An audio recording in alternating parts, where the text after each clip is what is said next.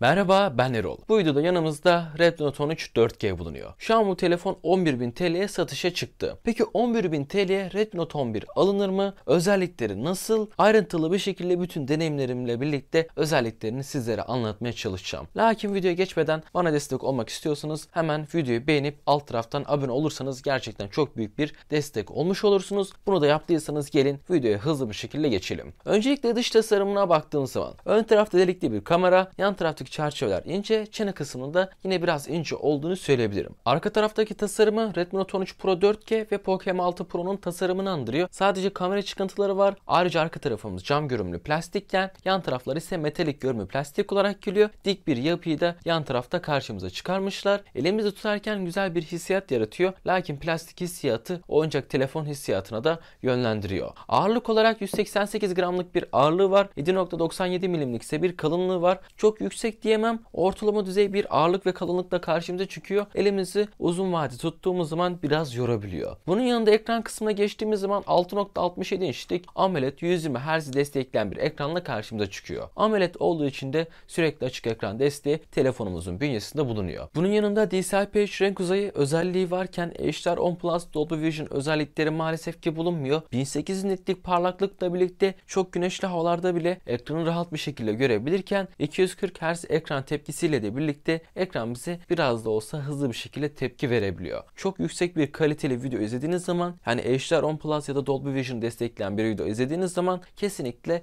o kaliteyi ekrandan alamayacaksınız. Corning Gorilla Glass 3 camı da ekranda bulunuyor. Siz bu telefonu aldıktan sonra ekran koruyucu takmayı ihmal etmeyin. Ekran kısmından batarya kısmına geçtiğimiz zaman 5000 mAh bataryasını 67 Watt'la birlikte şarj etmesini beklerdim ama 33 Watt desteği var. 65 dakika içerisinde sıfırdan 100'e şarj edebiliyor. Ortalama kullanımda bir günü rahat bir şekilde bu telefonumuz çıkartabilirken telefonda eğer ki zorlucu işlemler yapacaksınız bataryası maalesef ki bir günü çıkartmıyor. Bunu da söyleyeyim almadan önce az kullanıyorsanız da ikinci günlere rahat bir şekilde sarkabiliyor. Offline olarak video izlediğiniz zaman ekranımız 20 saatlik bir süreyi bizlere tanıyabiliyor ve son olarak da 30 dakikalık şarjla birlikte %50 dolumu bu telefondan alabiliyorsunuz. Batarya kısmında bence yeterli lakin 67 watt olsaydı biraz daha iyi olabilirdi. Bunun yanında kamera kısmına geçtiğimiz zaman çok yüksek performans veren bir kamera sensörü bulunmuyor. Bu kameraya baktığımız zaman 108 megapiksel derinde ve f1.75 diyafram açıklığına sahip OIS desteği bulunmayan, ACE desteği de bulunmayan bir ana kamera sensörüyle birlikte geliyor. Lakin titreşimleri sanki az bir şey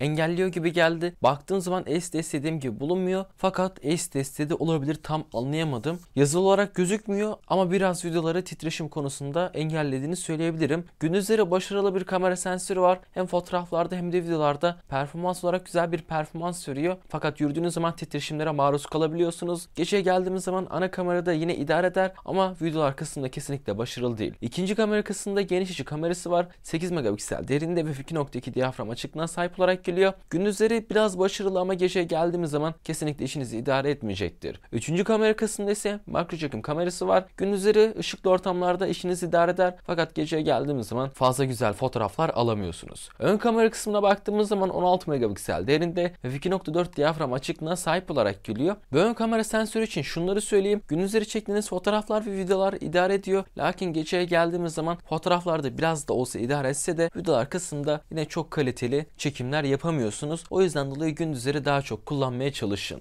Bunun yanında genel olarak kamera kısmını değerlendirmek gerekirse bu segmentteki bir telefon için ve Redmi Note 13 ya da Redmi Note 12 serisine baktığımız zaman bu şekilde bir kamera sensörleri bekliyordum ve bu şekilde de karşımıza çıkarmışlar. Ama ben en azından bir ACE desteğinin olmasını kesinlikle isterdim. İşlemci kısmına geçtiğimiz zaman Snapdragon'un 685 işlemcisi var. Bu işlemcimiz maksimum 2.8 GHz hızlarında çalışırken 6 nanometrelik üretim teknolojisiyle birlikte geliyor. Antutu ve 10 puanına baktığımız zaman 350 bin puanlar alabiliyor. 350 binlik puanla da birlikte PUBG gibi oyunları orta yerlerde 30, yüksek yerlerde oynayamazsınız. Yine Genshin Impact gibi oyunları da orta yerlerde 30 FPS'te oynatacaktır. UFS 2.2 depolama biçim var. Bununla birlikte ileriye yönelik fazla donma kasma yapmayacaktır ve akıcı bir arayüzü bizlere sunabilecektir. LPDDR4X RAM tipi de bünyesinde bulunurken hafıza kartını da ayrıca takabiliyorsunuz. Genel olarak zorlayıcı işlemlerin altından rahat bir şekilde kalkamıyor. Normal gündelik kullanımda rahat bir şekilde kullanıma olanak sağlıyor ama dediğim gibi bu işlemciden çok yüksek performans beklemeyin. Son olarak da telefonumuzun işlemcisi ısınıyor mu? Evet ısınıyor. Eğer ki oyunlarda işlemciyi zorlarsanız elinizi rahatsız edecek edecek düzeyde ısındığını belirtebilirim. Kablosuz bant arkasında maalesef ki 5G desteği bulunmuyor çünkü işlemcimiz bunu desteklemiyor. Bunun yanında Wi-Fi desteği Wi-Fi 5 olarak gelirken NFC ve kızılötesi sensör de bünyesinde bulunuyor. Suya ve toza karşı dayanıklılık kısmında IPX4 ile birlikte suya karşı koruması bulunuyor. Yani sudan fazla korkmanıza gerek kalmıyor ama her bulduğunuz suya da kesinlikle bu telefonu sokmaya çalışmayın. Çünkü çok korunaklı bir sertifika olduğunu da söyleyemem. Çift hoparlörü var. Çift hoparlörün kalitesine baktığımız zaman hem baslar ve tizler kısmında kulağımıza güzel geliyor hem de ses yüksekliği kesinlikle yeterli. Ayrıca Hi-Res ses sertifikası ve Dolby Atmos desteği de bünyesinde bulunurken 3.5 mm'lik jack girişi telefonumuzun bünyesinde bulunuyor. Parmak izi okuyucusuna baktığımız zaman bu telefonun en çok şaşırdığım yönlerden bir tanesi bu. Ekranın altından bulunuyor. Ayrıca buradan kalp ritminizi de ölçtürebiliyorsunuz. İsterseniz de yüz tanımıyla ekran kilidi açma özelliği var. Bununla direkt yüzünüzü okutarak bu telefonu kullanmaya devam edebilirsiniz. SIM slotları kısmında ise iki tane SIM slotu var. Hafıza kartını takmak isterseniz ikinci SIM'i maalesef ki kullanamıyorsunuz. Son olarak da kutusuna baktığımız zaman 67 wattlık güç adaptörü, USB Type-C ara kablosu ve arka kapak kılıfı ile birlikte çıkıyor. Gidip de farklı bir aparat kesinlikle almanıza gerek kalmıyor. Tek önereceğim şey üzerine bir tane ekran koruması fazladan almanız. Bunun dışında telefonu genel olarak değerlendirmek gerekirse. Şimdi telefonun özellikleri ayrıntılı bir şekilde baktığımız zaman ve özelliklerin hepsini bir torbaya koyup üzerine 11500 TL yazıyorum ve sizlere şunu söyleyeyim 11500 TL'ye bu telefon alınmaz.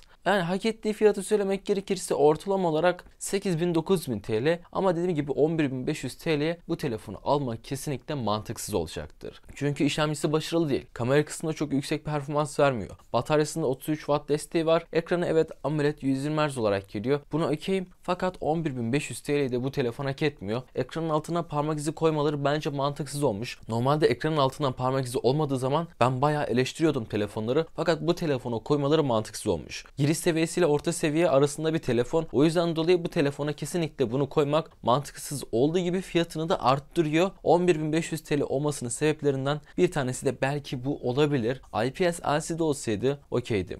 Bunun dışında batarya kısmı yine aynı kalsın. Kamera kısmı yine aynı kalsın. Fakat işlemci kısmında biraz daha güzel bir işlemci kullansaydınız. Mesela Antutu V10 kısmında 500 bin 600 bin puanları gören bir işlemci kullansaydınız ve fiyatını da gidip de 9000 TL yapsaydınız bu telefonu kesinlikle önerirdim. Ama fiyatına baktığımız zaman 11500 TL. Fiyatı düşer mi? Evet düşebilir. Fakat ne kadar süre sonra düşer bilmiyorum ve ne kadar düşer onun hakkında da bir yorum yapmak istemiyorum. Ama dediğim gibi bu telefonu satmak istiyorlarsa 9000 TL altı olması gerekiyor. Kısaca da telefon bu şekildeydi. Umarım hoşunuza gitmiştir. Elimden geldiğince ayrıntılı bir şekilde incelemeye çalıştım ve bu telefon bu fiyatlarda kalmaya devam ederse kesinlikle almayın. Neyse lafı fazla uzatmıyorum dediğim gibi bir dahaki videoya kadar görüşmek üzere. Hoşçakalın.